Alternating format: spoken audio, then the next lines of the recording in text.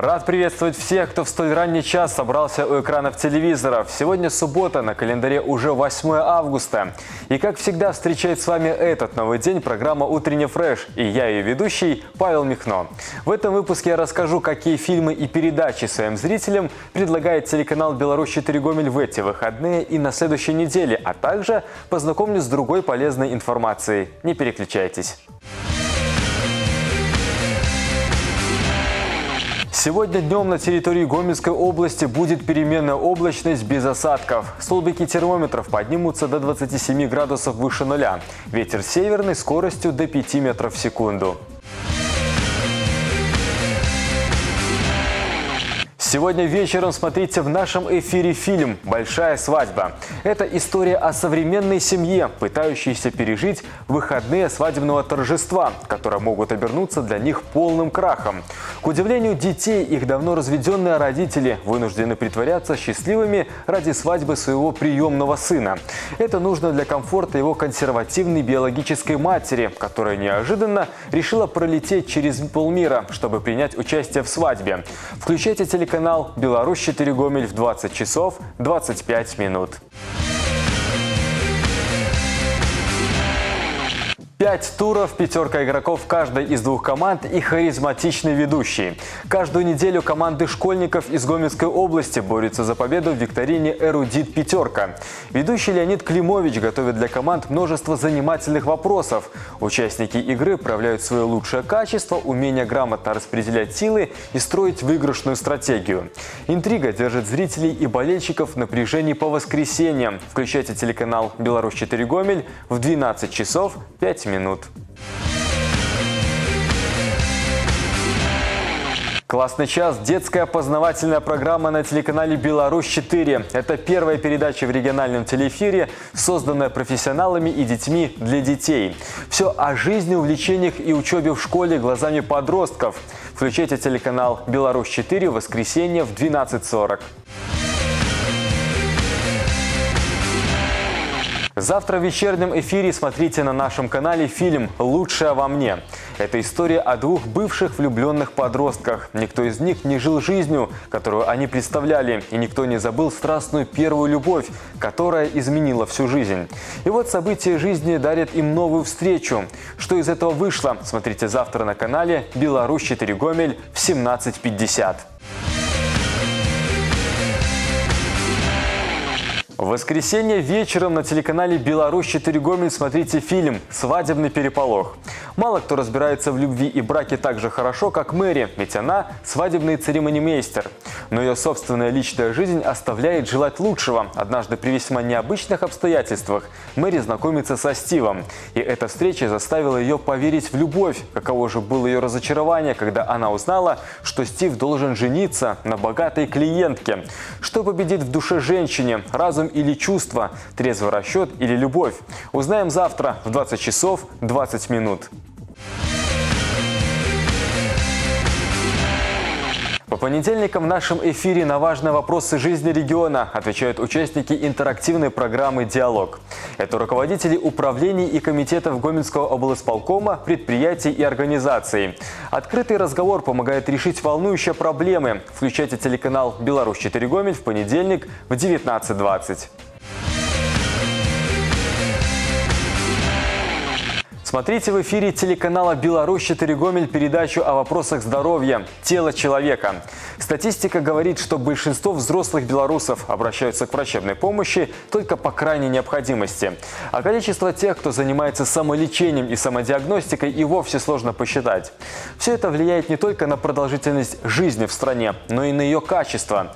Первый шаг на пути к изменению такой ситуации – профилактика. На это и направлена программа «Тело человека». Включайте наш телеканал канал в 19.30. В Беларуси продолжается акция «За что я люблю родную землю». В ее рамках каждый желающий может представить свою творческую работу. Сочинение, стихотворение, рассказ или что-то другое на белорусском языке. В своей работе нужно рассказать о главных достижениях в развитии своей местности, поделиться тем, что вызывает чувство гордости и любви к малой родине, ее прошлому и настоящему. Работы принимаются до 23 августа. Награждение победителей состоится во время недели художественного художественного слова, которое пройдет на базе Национальной академии наук Беларуси с 31 августа по 6 сентября, а также в рамках Дня белорусской письменности. Сегодня в нашей рубрике есть вопрос. Адвокат Наталья Тарасова расскажет о медиации для семейных споров. Не переключайтесь. Прежде всего я хотела бы напомнить, что медиация – это переговоры между конфликтующими или спорящими сторонами а, с участием независимого посредника-медиатора с целью достижения взаимоприемлемого решения, то есть того решения, которое устроит обе стороны. Можно применять для разных видов гражданских споров медиацию. Ну, можно сказать, что наиболее актуальна она в семейных спорах. Почему? Потому что это всегда эмоциональный конфликт, э, это всегда отношения. Медиация применяется у нас довольно давно. Закон работает о медиации с 2014 года, и практика его применения э, вызвала необходимость э, внесения изменений. Вот какие изменения?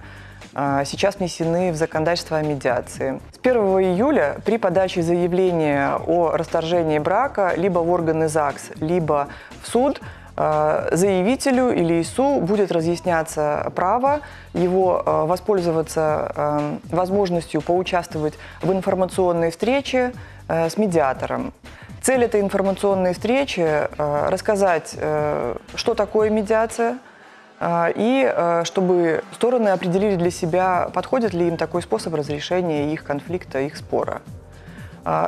Участие в такой информационной встрече является бесплатной. Поэтому стороны ничего не теряют.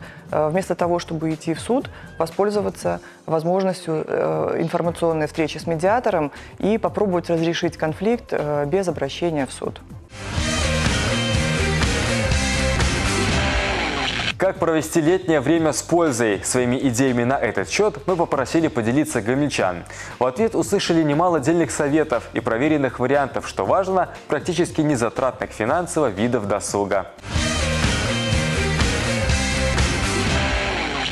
Меня зовут Кристина, мне 18 лет. Учусь в ГГУ имени Франциска Скорины. В 2006 году увидела чемпионат мира по волейболу среди женщин, э, финал Бразилия-Россия и поняла для себя, что это то, чем я хочу заниматься всю жизнь. Волейбол полезен только в том случае, как, ну, если им заниматься непрофессионально, потому что любой профессиональный вид спорта, я думаю, любой спортсмен, профспортсмен согласится, что это не просто как бы для здоровья делается, это скорее какие-то гладиаторские бои. Поэтому волейболом нужно заниматься только в свое удовольствие, ну, если просто хочется поиграть.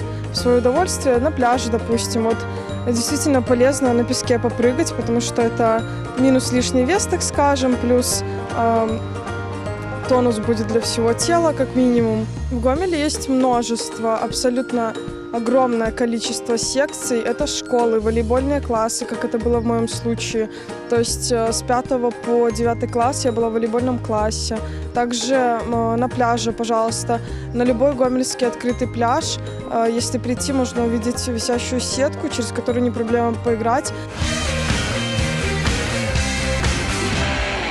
Как всегда, новый день с вами встречали программа «Утренний фреш» и я, ее ведущий Павел Михно. Хочу пожелать вам только хорошего настроения и улыбок окружающих людей. Сегодня суббота, у многих впереди целых два выходных. Постарайтесь отдохнуть и набраться сил на следующую рабочую неделю.